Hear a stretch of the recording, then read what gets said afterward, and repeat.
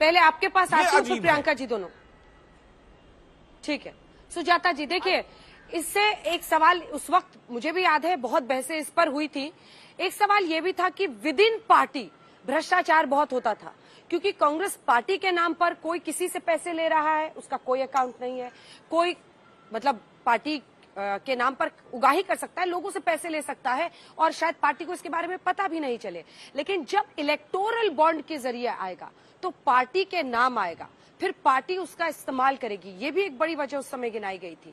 दूसरा यही कि अगर नाम ना बताया जाए तो जो सत्ता पक्ष है, वो टारगेट नहीं कर सकता कि भाई कांग्रेस पार्टी को ये 1950 करोड़ रुपए जो मिले, ये कहाँ से मिले? ये तो एक शील्ड आप लोगों को मिला ही हुआ था ना, जब ये जानकारी नहीं थी कि किन कंपनियों ने आपको पैसा दिया है। तो ये जो दो फैक्टर्स उस वक्त पर बहुत चर्चा में हुए थे, इस पर आपका क्या जवाब है?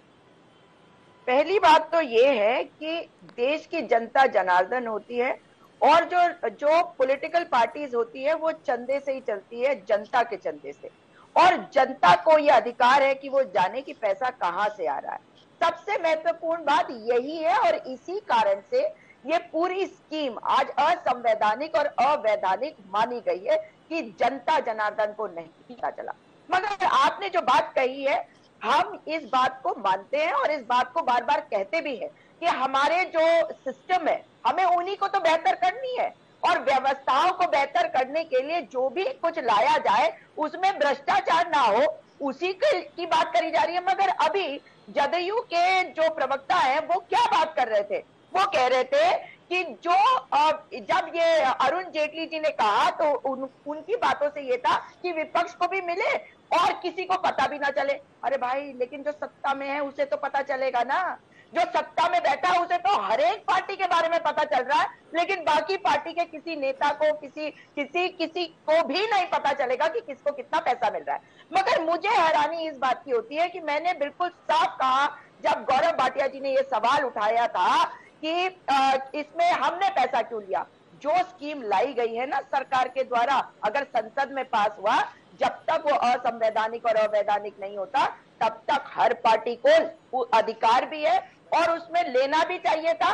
लेकिन जो सवाल हमने उठाए थे, इसी कारण से पेटिशनर में जया ठाकुर जी हमारी नेता है, जिन्होंने केस फ़ाइल किया था। तो ये तो बात साफ़ हो गई कि अगर हमें ज़्यादा पैसा मिला, और कुछ दिन पहले तो एक अजीबो गरीब तर्क भी मैंने सुना था अंजना जी, जिसमें ये कह रहे थे कि पर हेड सांसदों को ज़्यादा पैसा मिला विपक्ष के नेताओं को, कांग्रेस के, टीएमसी को। भैया, कमाल की बात है। अगर आपने पर हेड कैलकुलेट करना है तो इसका मतलब आप उनको उनको कैलकुलेट कर रहे हैं जो जीत गए। आप उनको ये बात ही नहीं कर रहे जो जो चुनाव लड़ने जा रहे हैं, क्योंकि पैसा तो चुनाव के पहले आया ना। आपके कहने का मतलब है कि आप किसी होटल में जाते हैं, इससे अच्छा है कि आप होटल में जाकर एक इवेंट मैनेजमेंट कंपनी खोल ले इवेंट मैनेजमेंट में आपकी एक्सपर्टीज है भी। लेकिन चीन की ये बात करते हैं तो दूसरी बात का मैं जवाब देती हूँ। ये पीएम केयर्स फंड भी था ना, ये तो पीएम केयर्स फंड है। पीएम केयर्स फंड में वो जो चीनी कंपनियों से पैसा लिया गया था, उसका हिसाब दिया आपने। आपको याद होगा कि यूआई ने ये ट्वीट करके बताया था कि उन्होंने कैसे पैसा दिया था पीएम केयर्स फंड में। और ये कहते हैं कि चीन के बारे में हम बताएँ आप नहीं बताएँगे कि राम माधव वहाँ क्यों जाते हैं? पूरी टीम लेकर नितिन गडकरी ट्रेनिंग के लिए क्यों भेजते हैं? उनके नेता आपके हेडक्वार्टर में आकर क्या करते हैं? इनके बारे में भी बता दीजिए। जहाँ तक बात है राजीव गांधी फाउंडेशन की तो सारे कागज़ तो पब्लिक डोमेन में दस साल से चीख चिल्ला रहे हैं। आप उस पर कार्रवाई करके दिखा देते। वो पैसा किस काम ठीक है, ये चीन वाले- पारदर्शिता है। चीन वाले मुद्दे पर एक जवाब दे दीजिए गौरव जी फिर मैं जाऊँगी प्रियंका जी के पास। इसका एक जवाब दे दीजिए, फिर प्रियंका जी के पास जाऊँ। देखिए, कांग्रेस पार्टी में नैतिकता बची ही नहीं है। पूरी कांग्रेस पार्टी को निचोड़ेंगी ना तो एक बूंद शर्म या नैतिकता मिलेगी नहीं। मैं जानना चाहता हूँ, बताइए कहाँ पे है एमओयू ये देखिए, एक तस्वीर है, राहुल गांधी चीन के साथ पार्टी टू पार्टी समझौता करते हैं। सूचना के अधिकार पे हम बात कर रहे हैं। देश की सुरक्षा और अखंडता से बढ़ के क्या मुद्दा हो सकता? मुझे बता दे, यहाँ पे कांग्रेस की प्रवक्ता बैठी है। कहाँ पे है एमओयू मैं पढ़ना चाहता हूँ। मैं तो ढूंढ रहा हूँ कई सालों से। बहुत खोजी व्यक्ति हूँ, मिल नहीं रहा है। दूसरा प्रश्न इसी पे पूछता हूँ। राजीव गांधी फाउंडेशन को चंदा चीन ने दिया। आज तक बताया है, राजीव गांधी फाउंडेशन की क्या मजबूरी थी कि चीन से चंदा लेंगे? नहीं बताया। तीसरी बात सोनिया गांधी जी पंद्रह साल तक भारतीय नागरिकता नहीं लेती हैं। सूचना का अधिकार है मेरा। नागरिक हूँ, करोड़ों नागरिक जानना चाहते हैं। उन्नीस सौ अड़सठ में शादी हुई, तिरासी में नागरिकता ली। क्यों सोनिया गांधी जी पंद्रह साल क्या मजबूरी थी कि भारत की नागरिकता आपको लेने की कोई ना इच्छा हुई, ना आपने ली? और अब मैं एक दो बातें और बताऊँगा, अंजना जी, दर्शकों को पता होनी चाहिए। आप एक फैसला लेते हैं जो देश हित में होता है जो इलेक्ट्रल बॉन्ड से पहले की चंदा की व्यवस्था थी उसको सुधार देता है। सर्वोच्च न्यायालय में मामला जाता है सर्वोच्च न्यायालय का फैसला आता है वो कहती है कि इसको हम गैर संवैधानिक बताते हैं। ठीक है।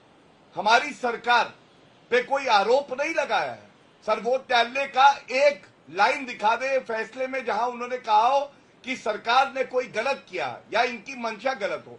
लेकिन मैं आपको बताता हूँ सर्वोच्च न्यायालय ने 2G लाइसेंस 122 इसलिए रद्द किए क्योंकि भ्रष्टाचारी और कमीशन खोर कांग्रेस की सरकार के माध्यम से रुपया लेती थी।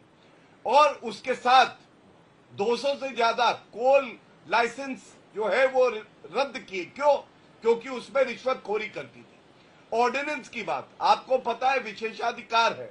हमारी सरकार सर्वोच्च न्यायालय का इतना सम्मान करती है हमने कोई ऐसा ऑर्डिनेंस नहीं लाया कि पलट दे।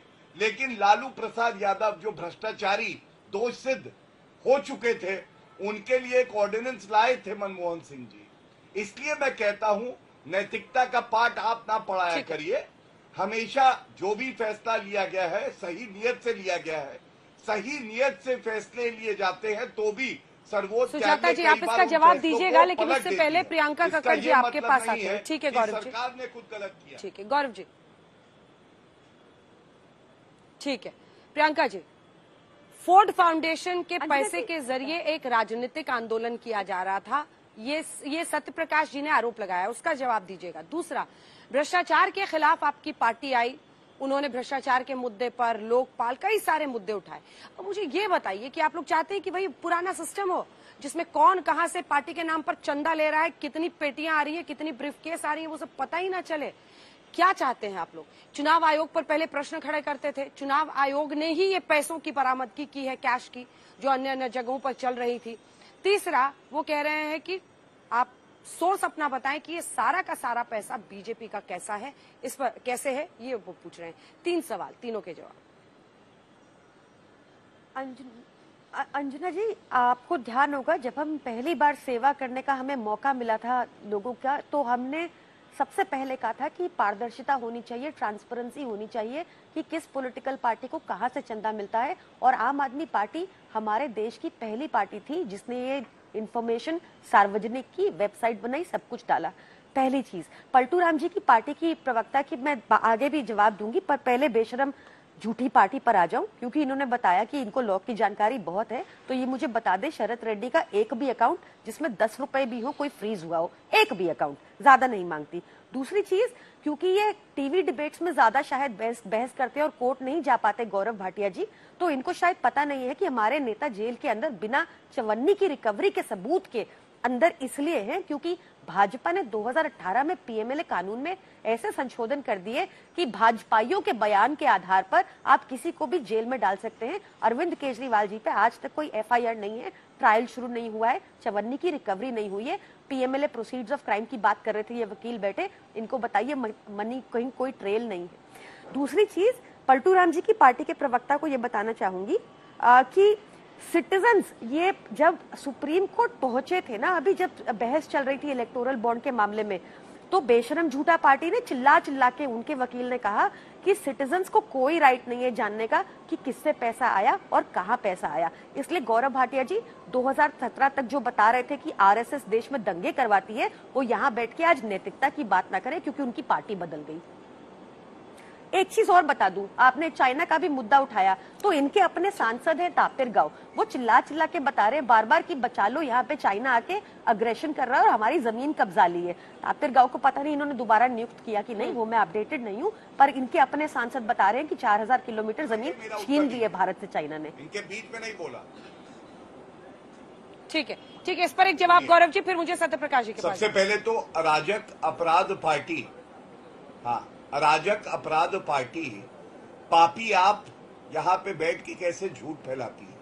इन्होंने फ़र्स्ट राउंड में बोला बारह हज़ार करोड़ रुपया जब्त किया गया है केवल भाजपा के कार्यकर्ताओं से। और मैंने कहा, प्रमाण दे दीजिए, दिया नहीं।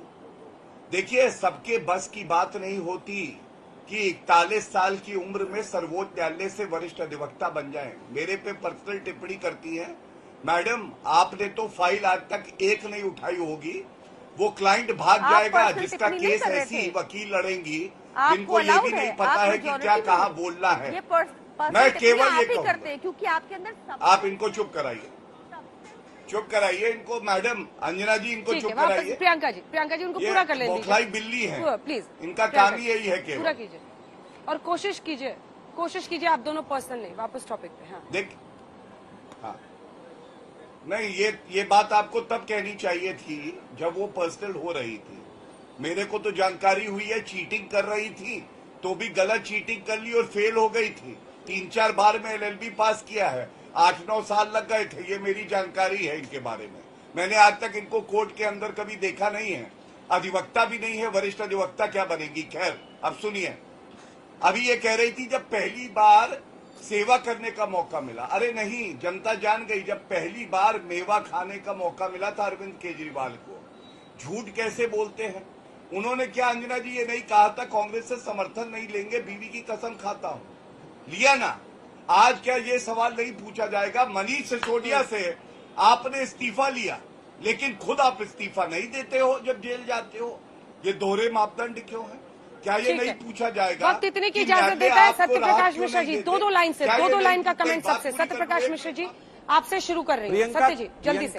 ठीक है। जो- नहीं गौरव जी टाइम की कमी है। मैं आपसे कंक्लूडिंग रिमार्क लूँगी दो लाइन का उसमें बोल दीजिएगा। आम आदमी दो दो लाइन का आम आदमी पार्टी की प्रवक्ता प्रियंका कक्कड़ जी की नकाब उतरते हुए भ्रष्टाचार और शराब घोटाले वाल की पार्टी की पक्ष लेने। पलटू राम आप लोग हैं। कांग्रेस को गाली दिया सपा को गाली दिया लालू जी को गाली दिया ऐसी कोई पार्टी नहीं बची जिसको केजरीवाल ने चोर नहीं बताया। और उसकी गोद में जाकर बैठे बच्चों की कसम खाने के बाद नीतीश कुमार सिद्धांतों से नहीं पलटे। पैंतालीस साल की राजनीति में एक दाग नहीं उनके ऊपर हिम्मत नहीं आपने अपना पॉइंट बोल दिया। सर प्रियंका जी। देखिए इनको ज़्यादा प्रियंका जी दो लाइन तिल मिलाने की ज़रूरत नहीं है इनको। अभी चुनाव के परिणाम आ जाएँगे पता चल जाएगा जनता कितना इनका साथ दे रही है कितना नहीं। जनता ये पूछ रही है बार बार गौरव भाटिया की पार्टी से बेशरम झूठा पार्टी से कि क्यों तुमने शराब माफिया के किंग पिन से साठ करोड़ की रिश्वत ली? उसका जवाब ही नहीं दे रहे ना अमित शाह जी ना गौरव भाटिया जी। इधर चले जाएँगे उधर चले जाएँगे सुजाता पॉल करेंगे। जी सुजाता पॉल जी। सुजाता भारत जलाओ भारत जलाओ पार्टी के प्रवक्ता गौरव भाटिया जी ने जो बात कही है ना उसमें बता दें कि टू जी स्पेक्ट्रम मामले में सीए जी जो आप ही के स्टूज है उन्होंने माफ़ी क्यों मांगी? उन्हें तो पूरे देश से माफ़ी मांगनी चाहिए। अपनी बात को आप रख नहीं पाए आप बता नहीं पाए कि पीएम ठीक है। के फंड में गौरव जी। क्यों गौरव जी जल्दी से। ठीक देखिए मैं केवल इतना कहूँगा ये सारे भ्रष्टाचारी मिल गए हैं तो भी ये ईमानदार प्रधानमंत्री का कुछ बिगाड़ नहीं पाएँगे। एक लाख जब भ्रष्टाचारी नर्क जाते हैं तो अरविंद केजरीवाल की मूछ का एक बाल आता है। यह है भ्रष्टाचारी अरविंद केजरीवाल। खुद इन्होंने चंदा लिया है भ्रष्टाचार इन्होंने किया है। और एक ईमानदार प्रधानमंत्री ने सुनिश्चित किया कि एक पारदर्शिता युक्त एक व्यवस्था हम बनाएँ और आगे भी बनाएँगे।